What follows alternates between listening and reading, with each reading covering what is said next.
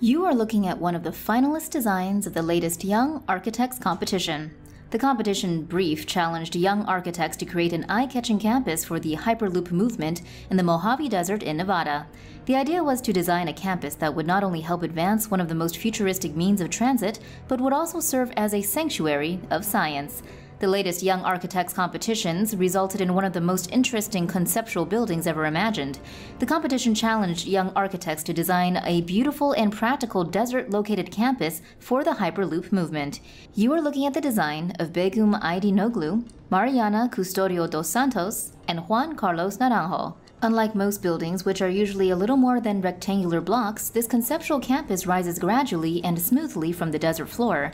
The trio reimagined a seemingly inhospitable stretch of the Mojave Desert, North America's driest desert that stretches across four states, into an oasis.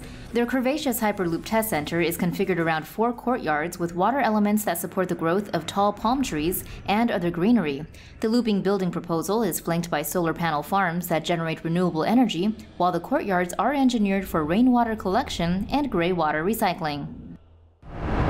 For more news animations and explainers, hit the subscribe and bell button to join the Tomo News family. Thanks for watching.